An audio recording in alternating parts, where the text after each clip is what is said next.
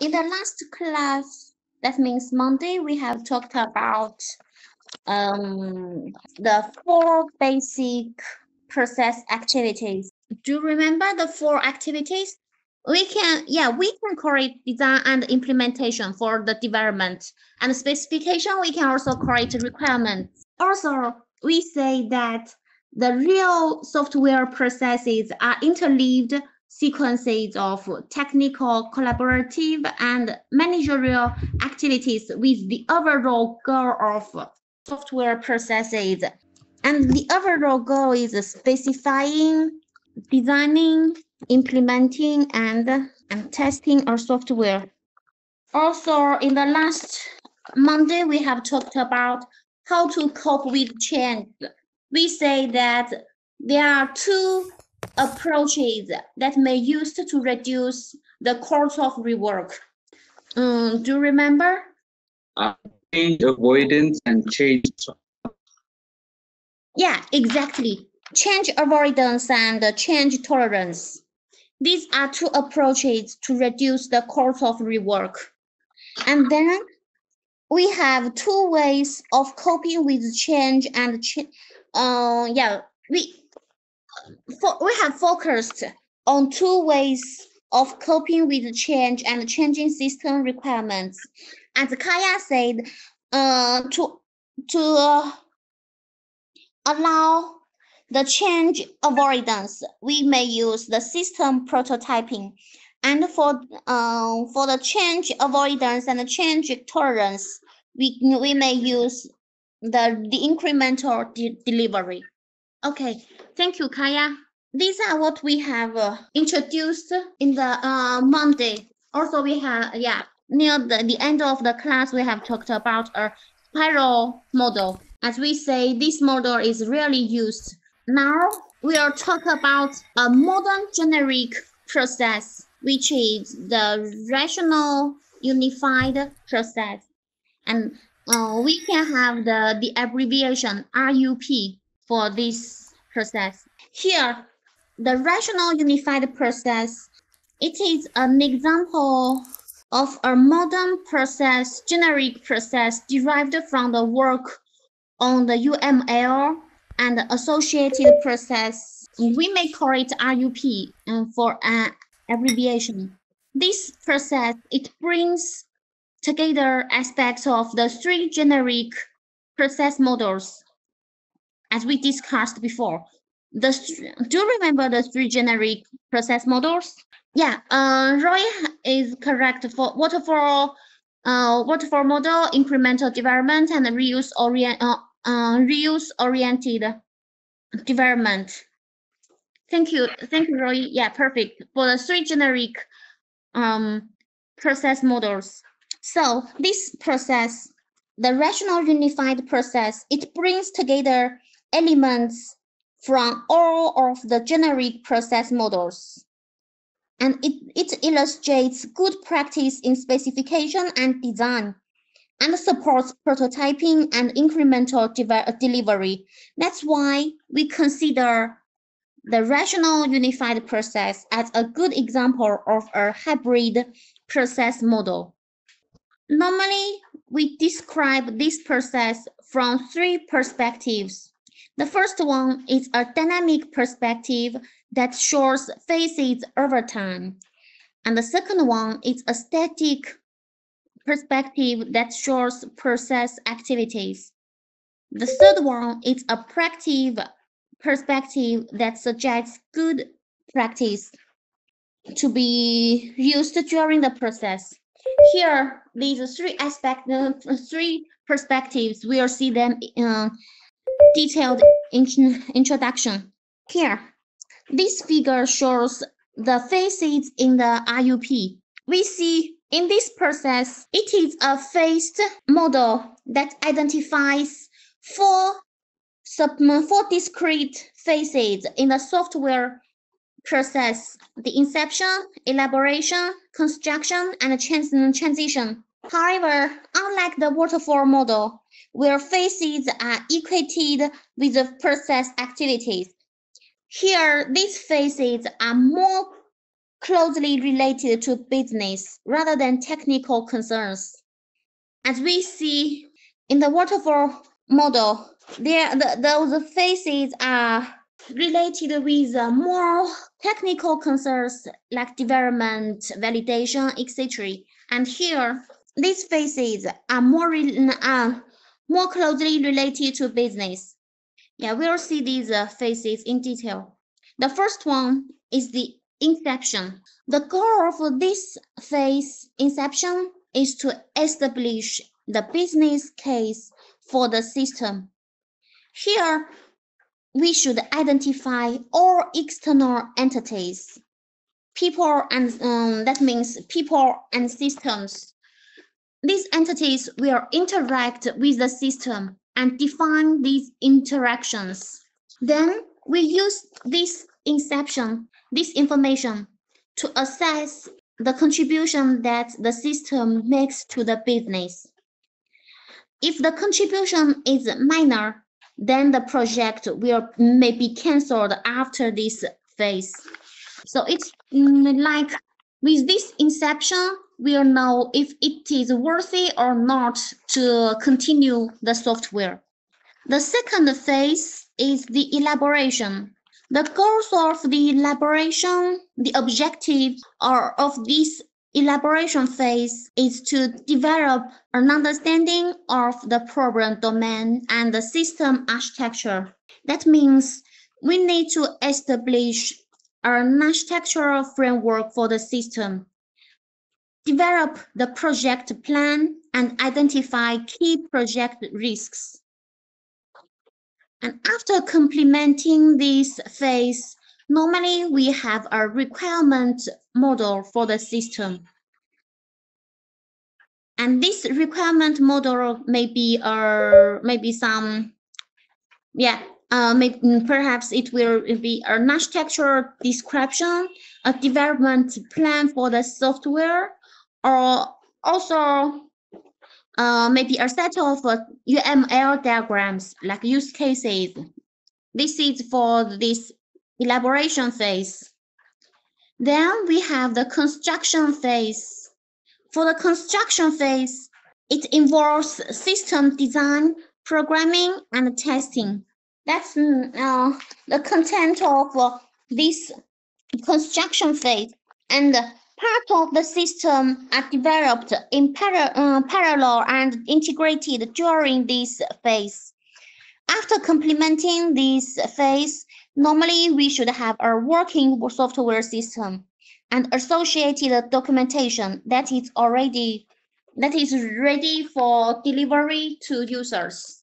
So after this phase of construction, we will have the phase of transition. This is the final phase of the of this process, and it is concerned with deploying the system from the development community to the user community. That means we will make it uh, uh, in a real environment, in its operating environment.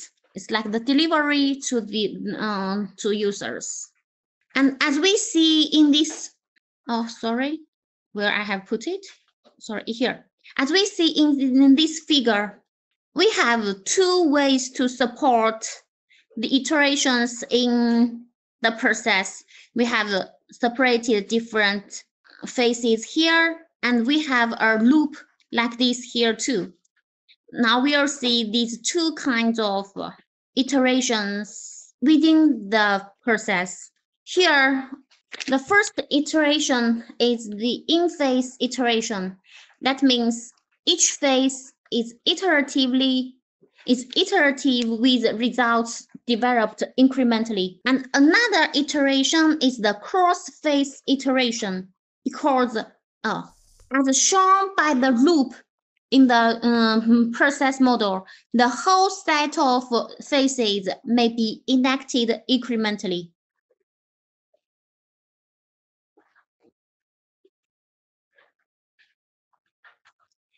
So this is the dynamic view of this process. Now we'll see its static view of the process. The static view of this process focuses on the activities that take place during the development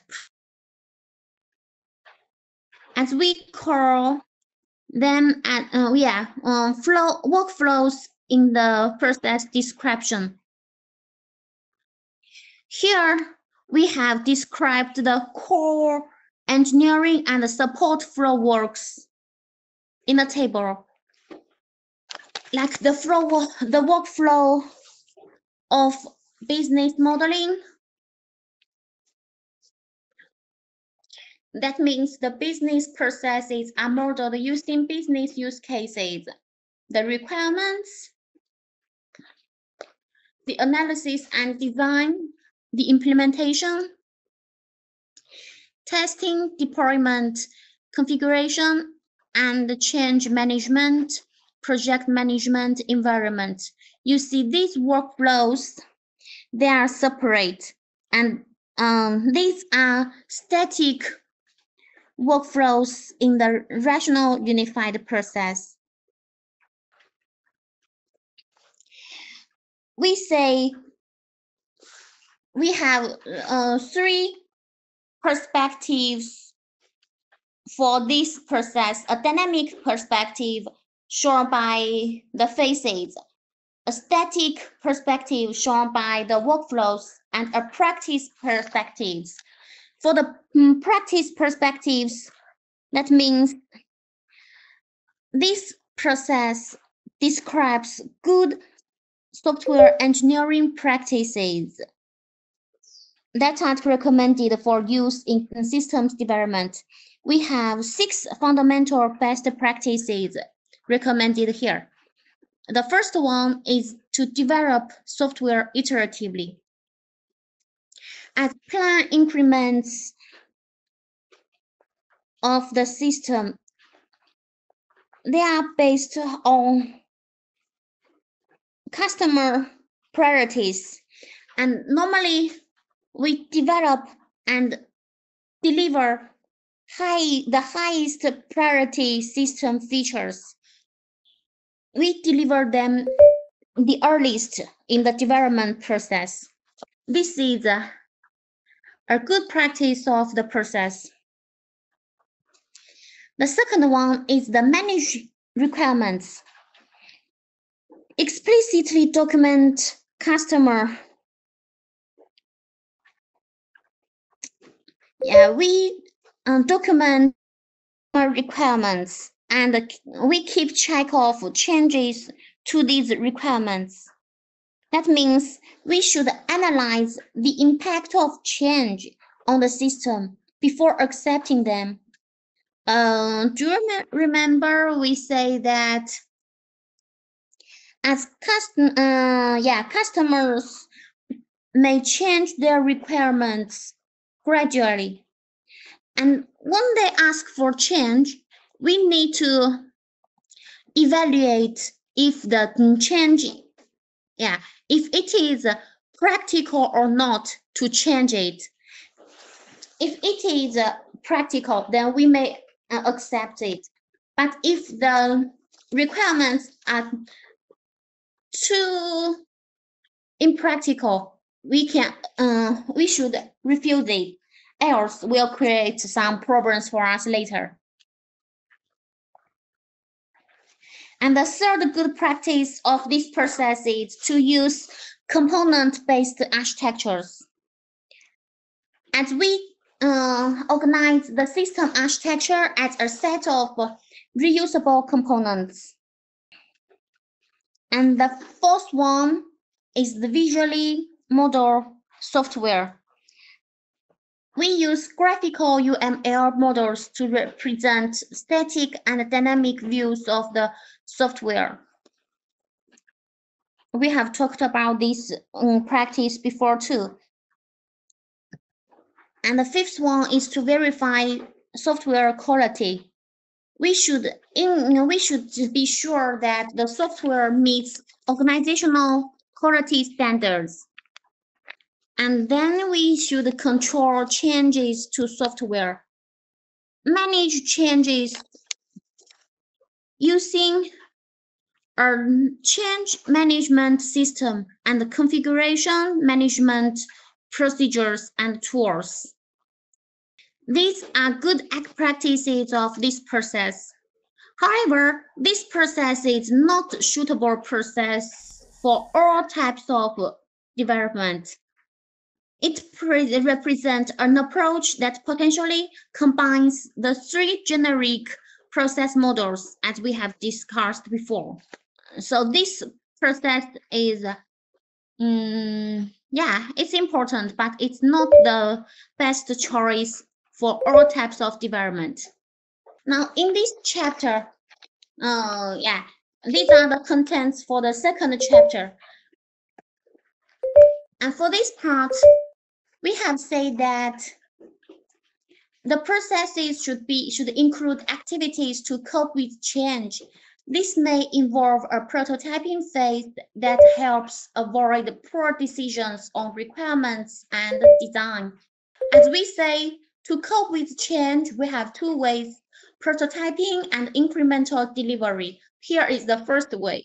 And then the second way is that processes may be structured for iterative development and delivery and delivery so that changes may be made without disrupting the system as a whole.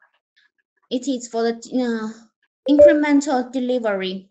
And we say that the rational unified process is a modern generic process model that is organized into phases.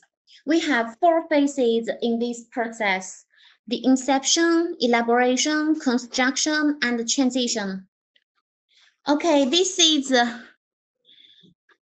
all the contents for the second chapter. So do you have some questions still here?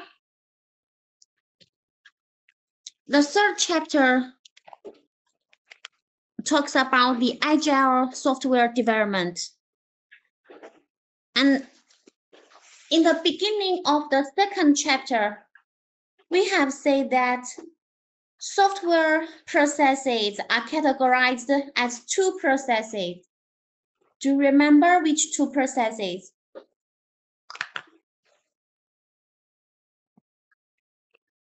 Oh, how many chapter chapters?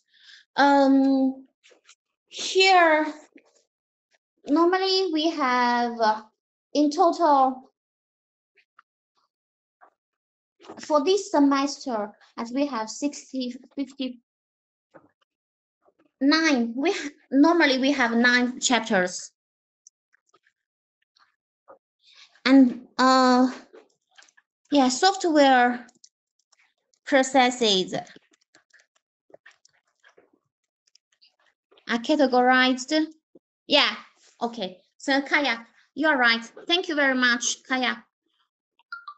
Agile and plan-driven um, processes. So here we'll talk about the agile process uh, software development. And the objective of this chapter is to introduce the agile software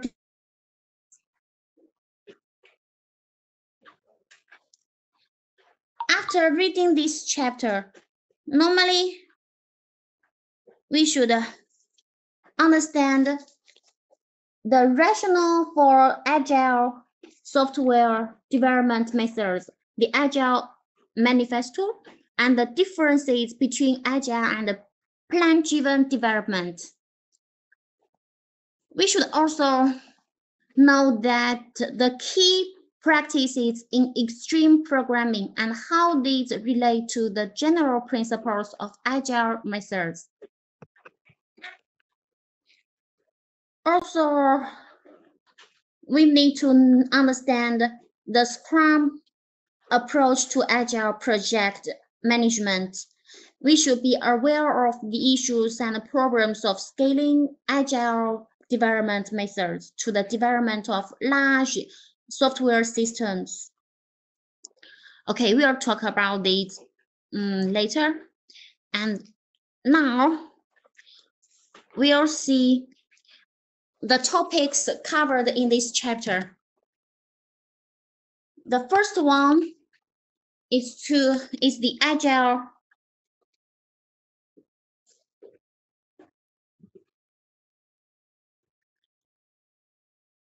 the first one is uh, the agile uh, uh yeah yeah. The first one is the introduction to the agile methods. And the second is the plan driven and agile development. The third topic is the extreme programming. The fourth one is the agile project management. And the fifth one is the scaling agile methods now we are uh, begin by the first one, the agile methods.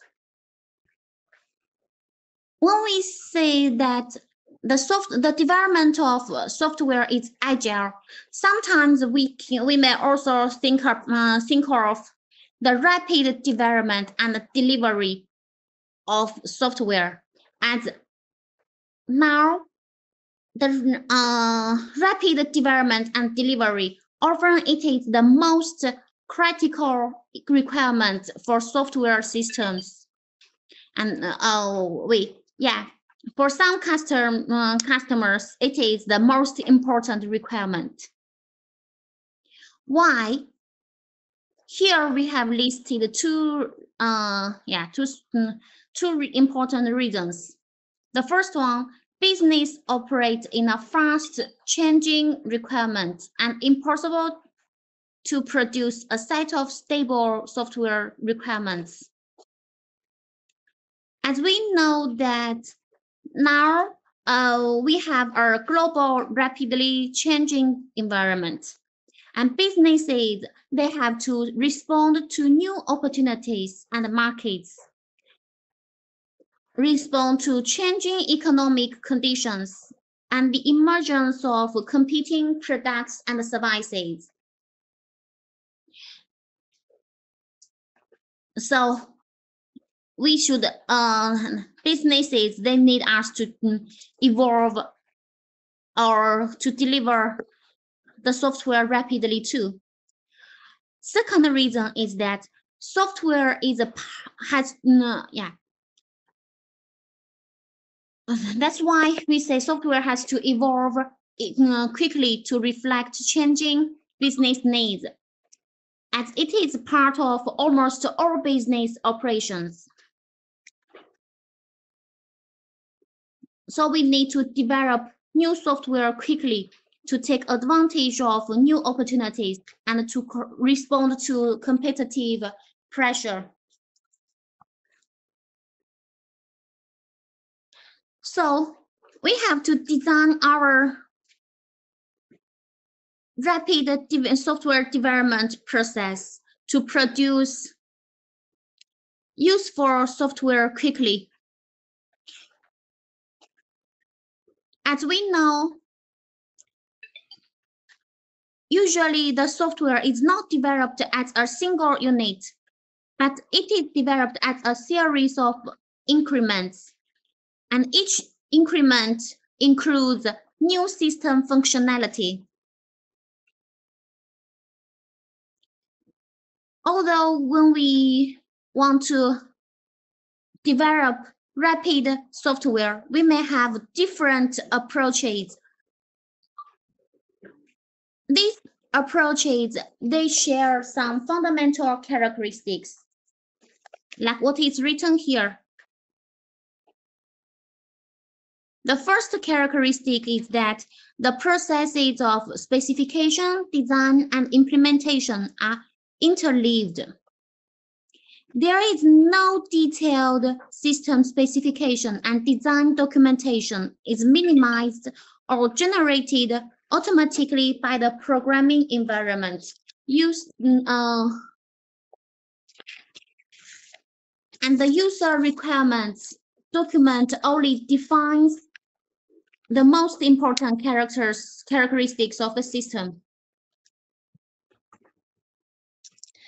The second characteristic of this approach is that the system is developed as a series of version, versions with stakeholders involved in version evaluation.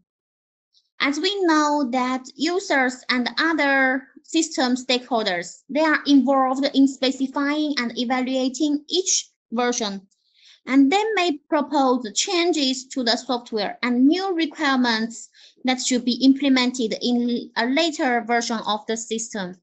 So uh, this is the second characteristic.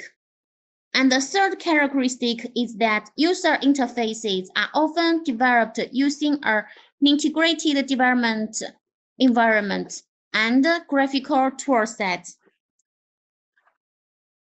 In fact, the system user interfaces often we develop them using an iterative, interactive development system, which allows the interface design to be quickly created by drawing or placing icons on the interface.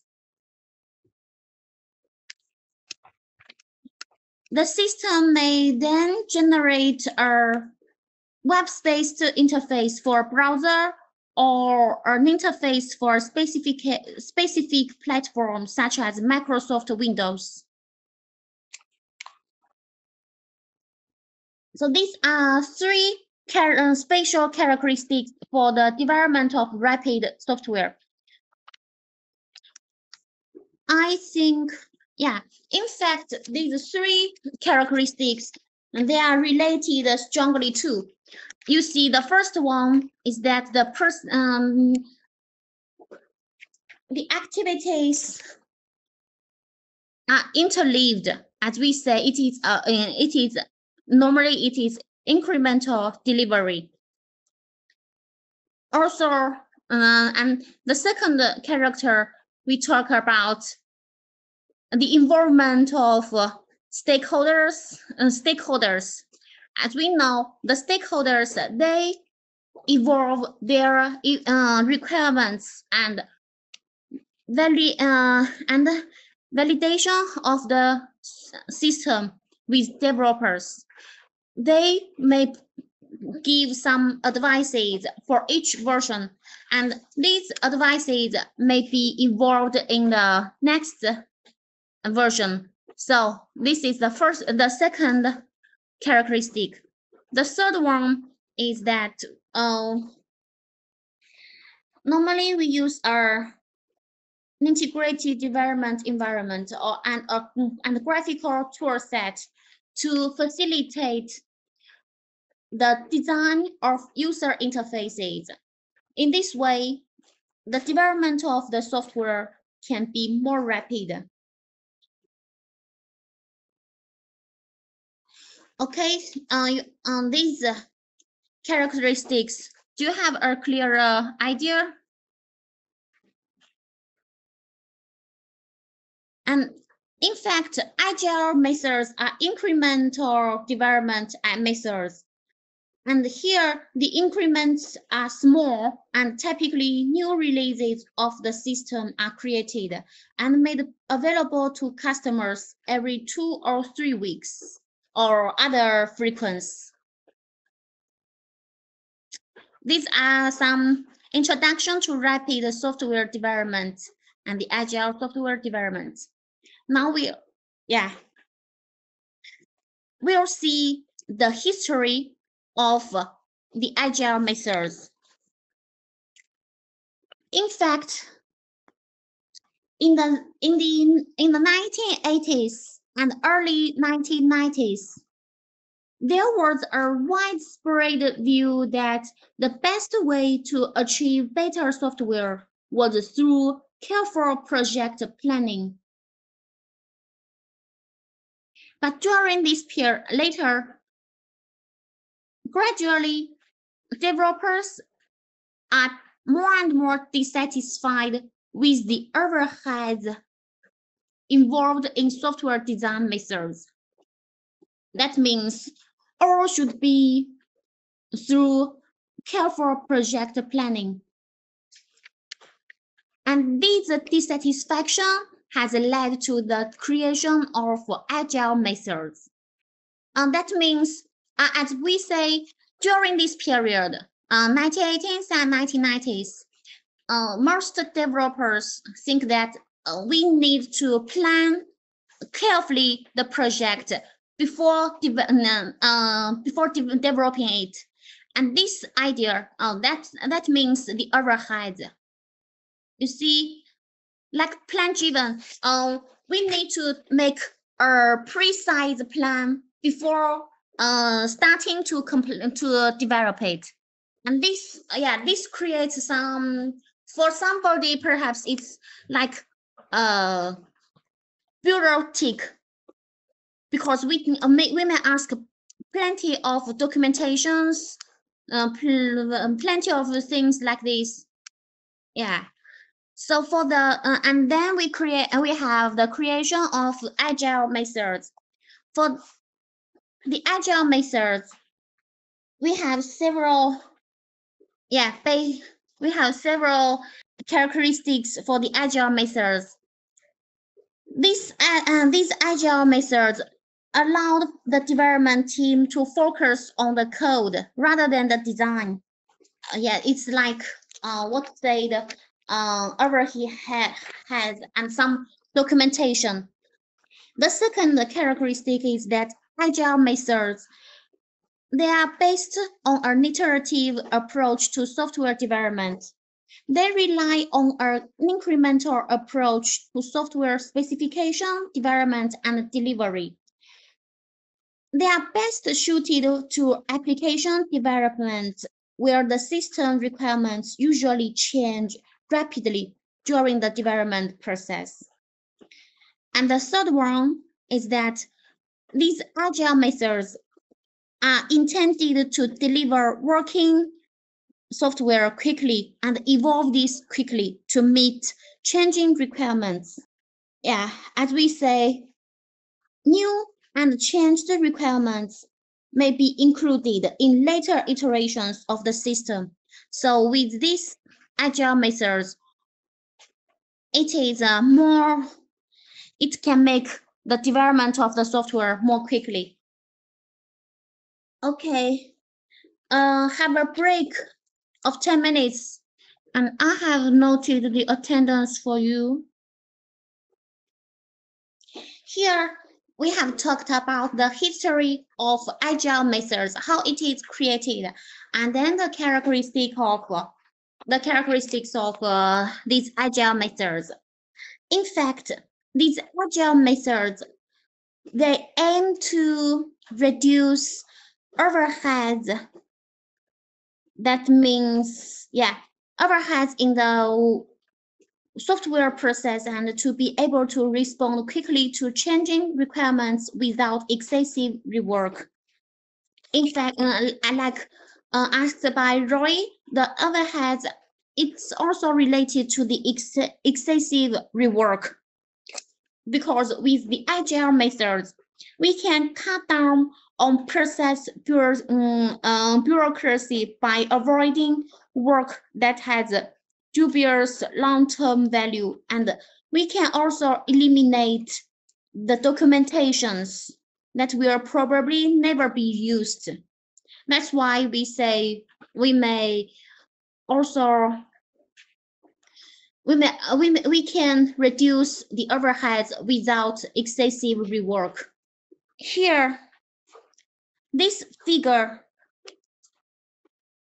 shows the principle the principles of agile methods Although these agile methods are all based around the notion of incremental development and delivery.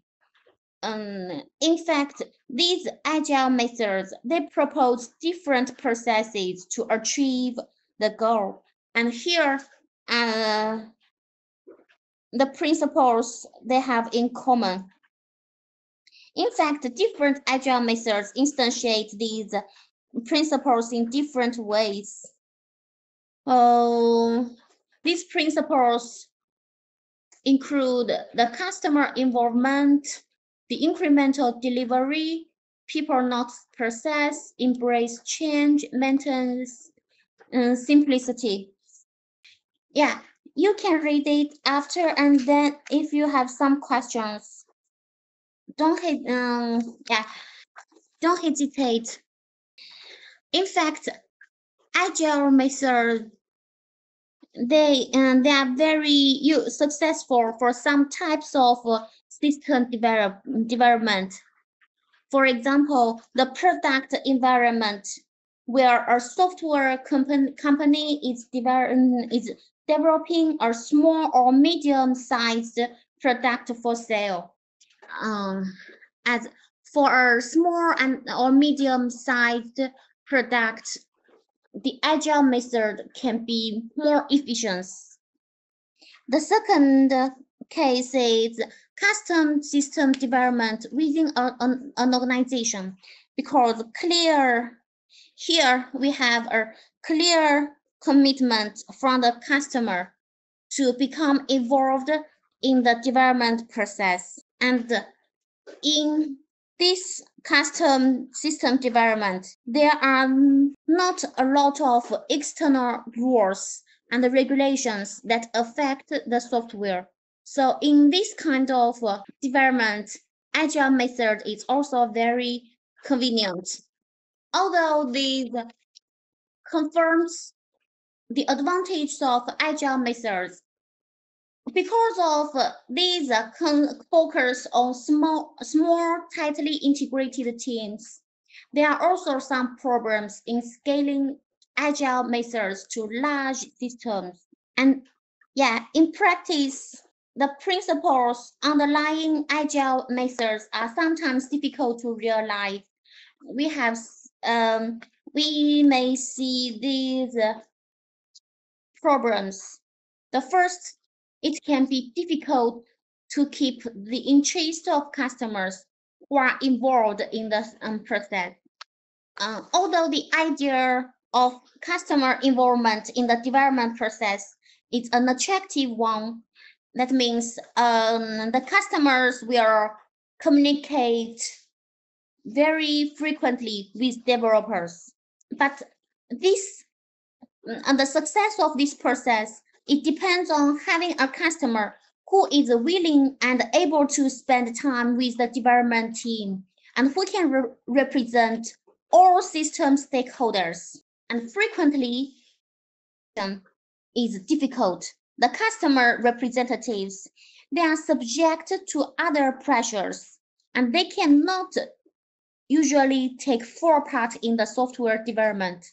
The second problem is that team members may be unsuited to the intense involvement that characterizes agile methods. As we say, um, yeah, it it has some points in common with the first one.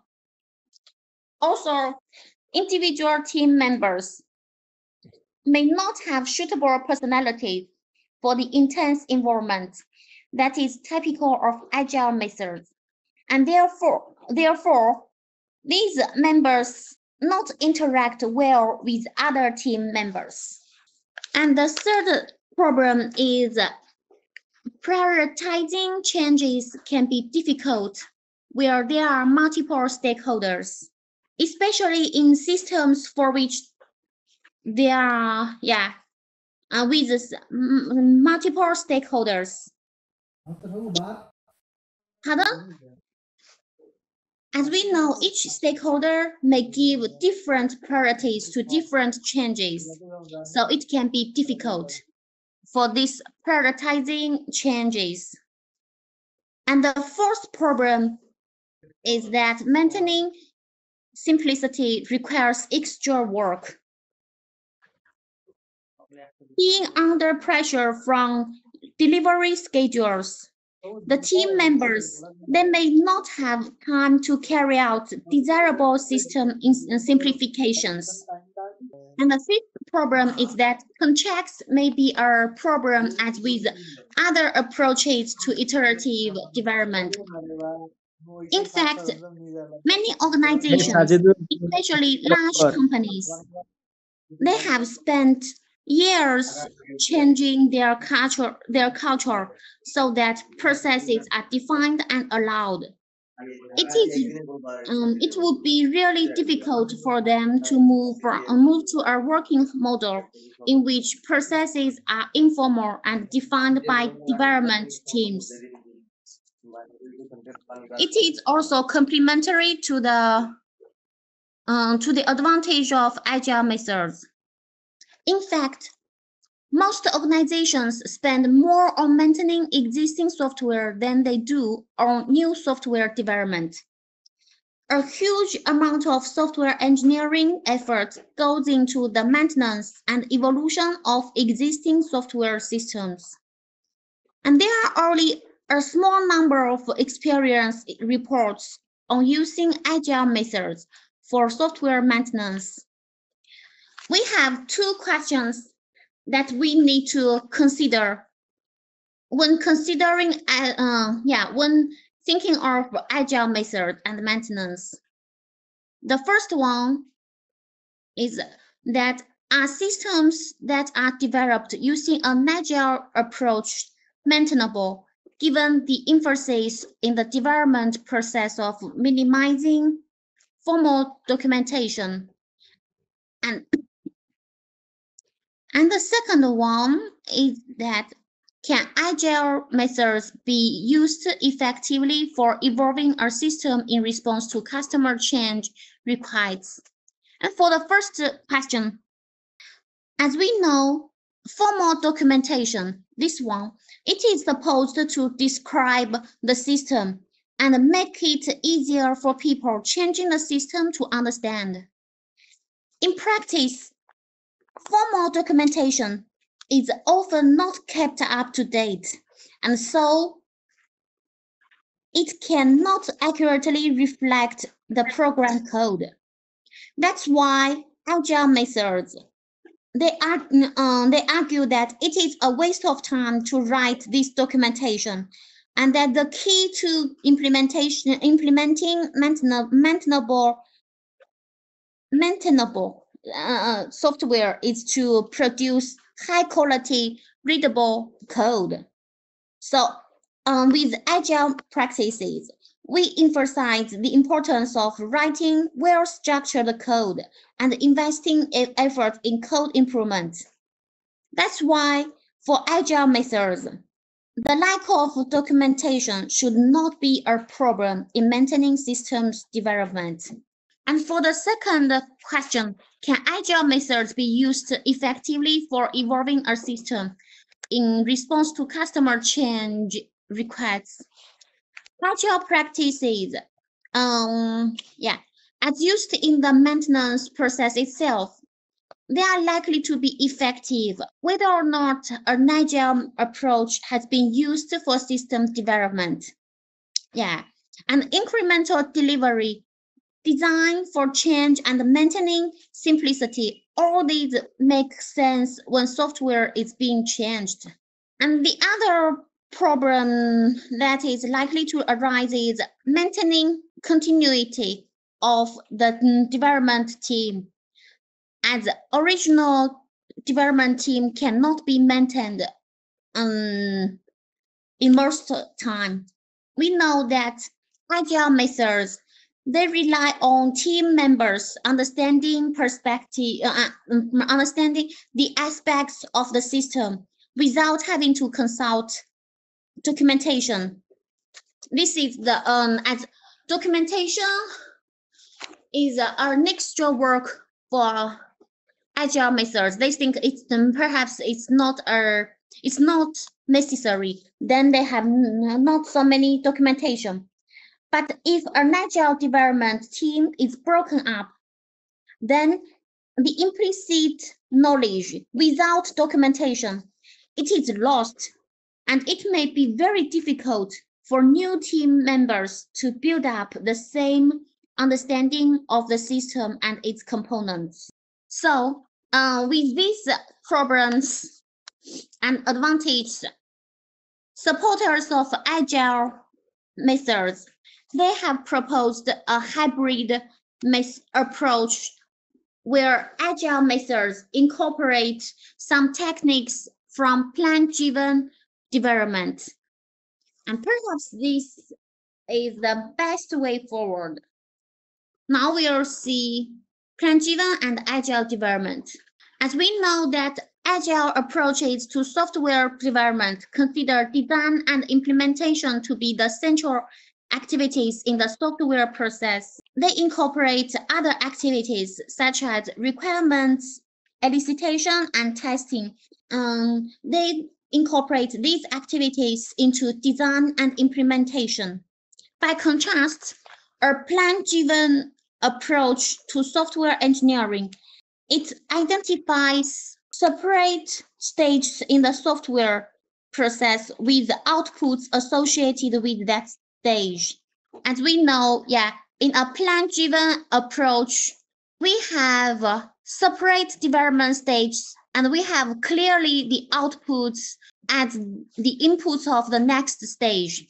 The outputs from one stage are used as a basis for develop for planning the following process activity. And it is not necessary it, is not necess necessarily waterfall model. It can be plan driven or incremental development. And in a plan driven develop approach, iteration may occur within activities with the formal document doc, documents used to communicate with stages of the process. For example, the requirements will evolve and ultimately a requirement specification will be produced. And this is then an input to the design and implementation process. Yeah, as we say for the agile uh, uh, development, specification, design, implementation, and testing, they are interleaved. And the outputs from the development process are decided through a process of negotiation during the software development process. These are the difference of these two developments. And this figure shows exactly the distinctions between plan-driven or plan-based approach and agile approaches to system specification.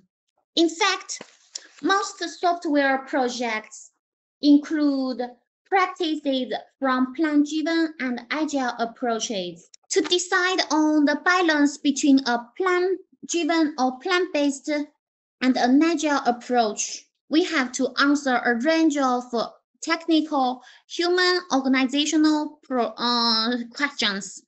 Yeah, as we say, uh, most projects include elements of plan-driven and agile processes. We propose a hybrid process. So to balance uh, these two approach, the first question to be answered is that, is it important to have a very detailed specification and design before moving to implementation. Okay, what what do you think of this question? Why we need this question to balance between a plan-based and an agile approach? Yeah, we focus on this question now. We need this question because all projects are not the same. Some may have pre-existing queries that need solving and for others queries may rise as we go on. Yeah, yeah, Roy, you are, uh, yeah, you are right.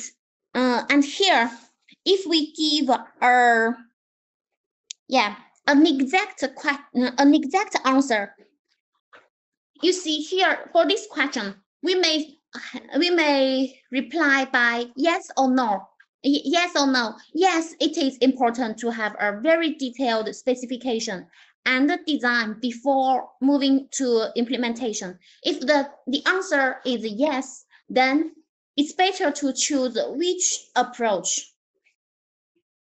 No, sorry, Roy. It's uh, it's not my. It uh, I think there's some misunderstanding here.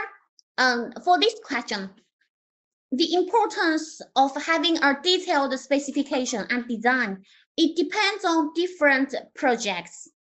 Some software, for some software system, it's, it's very important to have a detailed specification and design. But for others, perhaps the specification and design is not very, very important. So the answer may be yes or no, but in different situations, we may need different approaches. That's why we need to ask this question to decide which approach we will use. We will use agile or plan-driven approach. Is it much clear? Much more clear? Okay, I modify my answer. No, not always. um, okay. Yeah, both. Uh, we may we may answer this by yes or no, but now my question is, if the answer is yes, we we'd better use a pro uh, agile approach or plan-driven approach. If we need a very detailed specification and design before moving to implementation, then it's better to use agile approach or it's better to use a plan-driven approach.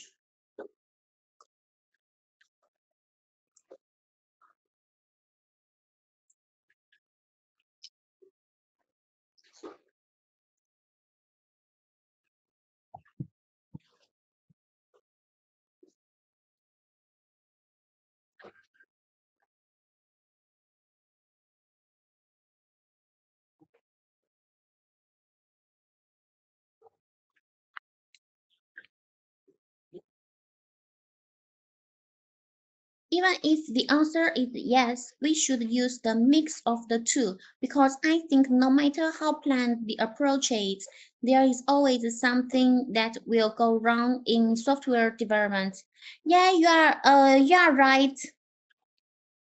Yeah, you are right. Um even the answer is yes, we may have some um some evolution of the system and then we may take some different uh, yeah we may come back uh, to use the agile approach yeah yeah your second your second answer uh, your second complementation it is mm, very good. It's always better to give details and specification, and we can use plan driven. Yeah. In fact, this indicates that a detailed specification and design can be satisfied in plan-driven approach. But with a agile approach, it would be difficult to have uh, this uh, detailed specification and design. Yeah, that's why uh, this question is important for uh, the balance between these two approaches. And then we have a second question. It's an incremental delivery where you deliver the software to customers and get back get rapid feedback from them realistic. So for the why this question is important to decide whether we use a plan-driven or a agile approach. Uh, yeah, you, you are, you are um, totally uh, right. For an incremental delivery, this operation, that means we get rapid feedback from them, is really realistic.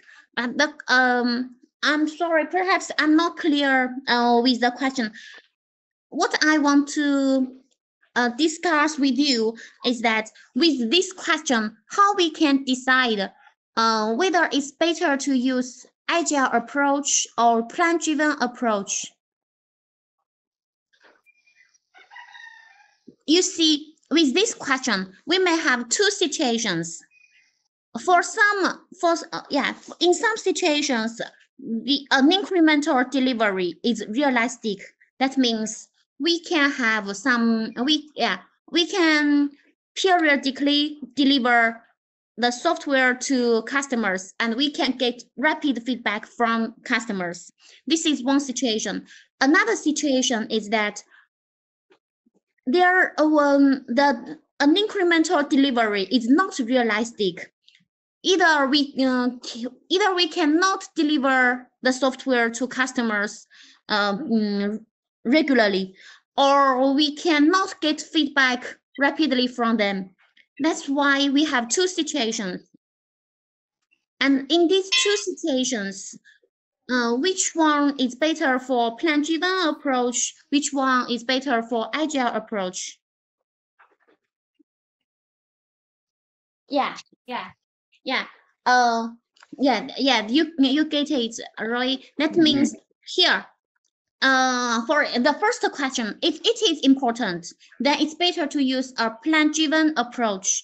As with agile approach, we can uh, yeah we have no mm, there uh, we, we yeah we don't have very detailed specification and design in most of most cases and for the second question if an incremental delivery is realistic it's better to consider using agile approach else we use the um, plan driven approach is it clear uh, thank you. It, um, we uh, Now it- so the first two is- question is just uh, for um for explaining. Then we have other questions.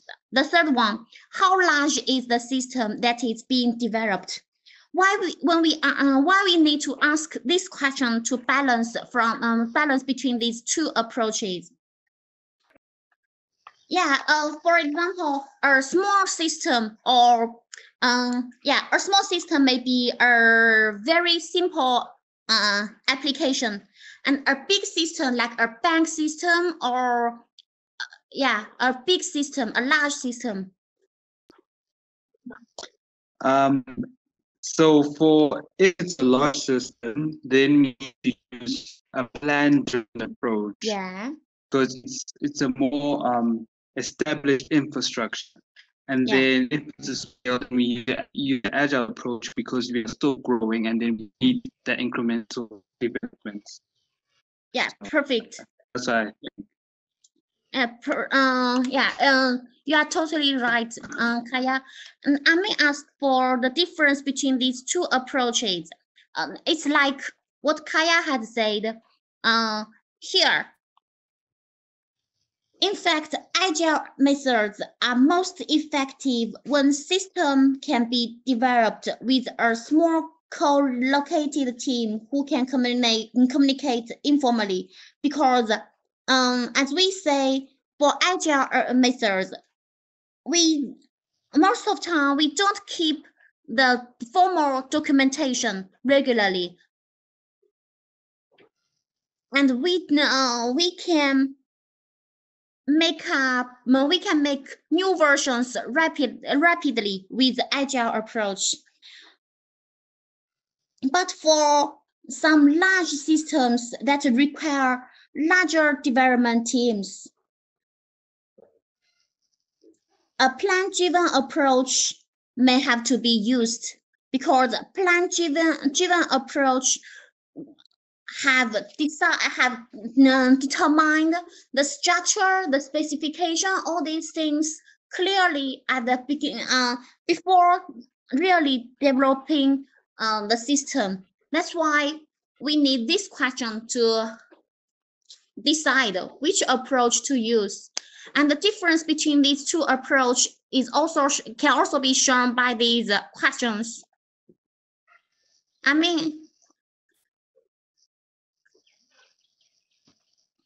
and that's why bank systems are usually years old. yeah. and we have other questions. The first one, what type of system is being developed? Here, mm, okay, I will answer this que- this. Uh, as we uh, we know, systems that require a lot of analysis before implementation, they usually, yeah, these kind of systems usually need a fairly detailed design to carry out this analysis. For example, we may uh, some yeah we may have some real-time system. They they are uh, complex timing requirements. In this way, like the requirements are very important. So A plan-driven approach may be best in these circumstances. Okay, and the fifth one, what is the expected system lifetime? Um, the expected system lifetime, that means we may have long lifetime system and short lifetime systems. For long lifetime systems, they may require more design documentation to communicate the original intentions of the system developers to the support teams. As we know, if it is a long time system, um, yeah, if the expected system lifetime is long, then uh, the development group may be changed. So it's better to have some um, some design, some precise design documentation. And supporters of uh, agile methods, they say that the documentation is frequently not kept up to date and it is not of much use for long-term system maintenance. So here, if the expected system lifetime is long, then it's better to use plan-driven approach. Else, we can use the, the agile approach. And the sixth one, what technologies are available to support system development? For this question, um, as we know that agile methods, they rely on some tools to keep track of an evolving design. They don't have many documentations to keep track. So if we are developing a system with our integrated development environment, uh, IDE, that does not have, have good tools for program visualization and analysis. Then we may need more design documentation. That means we may need uh, the plan-driven approach. And the seventh question is, how is the development team organized? Yeah, if the development team um, is distributed or we may have some members fr from outside, then it's better to develop design documents to communicate across the development team. In this way, we may need to plan in advance what the, uh, that means we use plan-driven approach.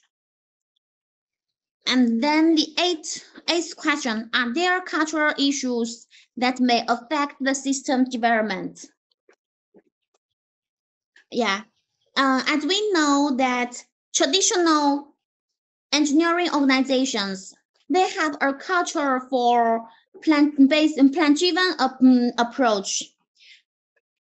And plan-driven approach is like the norm in engineering.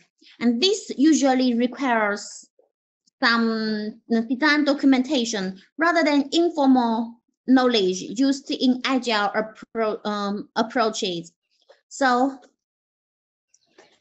if there are cultural issues that may affect the system development, we need a plan-driven approach.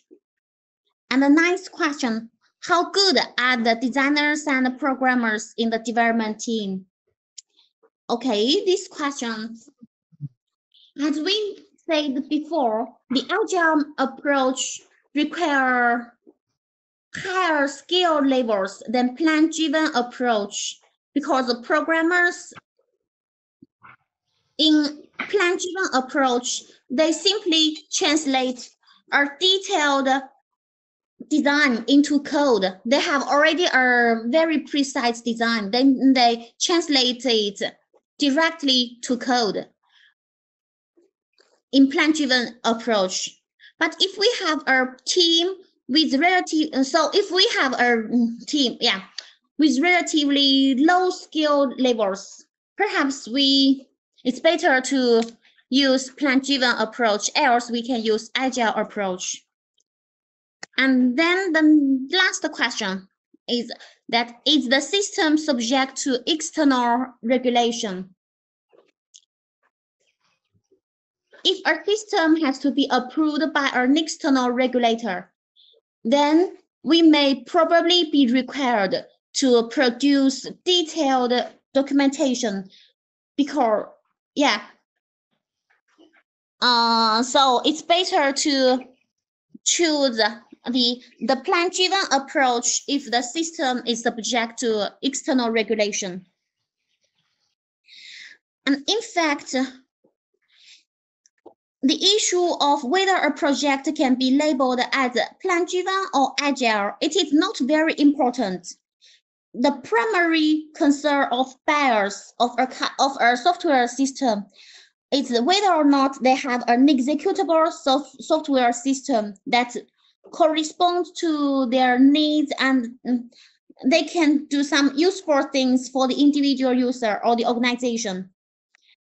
And in, in practice, most companies use, as Roy said, a hybrid um, approach of uh, agile and plan driven. Okay. Uh, if in our group there are not many, uh, that means, yeah, we cannot totally understand a program uh, rapidly. In this way, it's better to have some documentation by side, uh, yeah, uh, some documentation clearly written.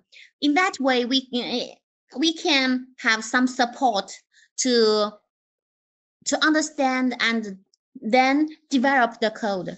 That's why we say it's better to uh, choose the plan-driven approach if we, if yeah if if the programmers are not familiar yeah we can say that because agile for agile approach um, programmers most programmers they keep in mind their ideas the process of development all these things. They keep now yeah. Mm, they have they as they don't have too much documentations they need to use their own uh, yeah they also you see with agile approach and we don't have a documentation perhaps even some uh, algorithms they have to be designed by the by, by the programmers. And if there are some some problems or some bugs programmers need to uh, go through the whole to check. But for um, I, for plan-driven approach, as we have the, documenta the, the documentation, the algorithms, all these things are designed clearly. They don't need to do too much logical things, perhaps. Is it much clear? Much more clear? Okay. Thank you. And if you have some questions, don't hesitate.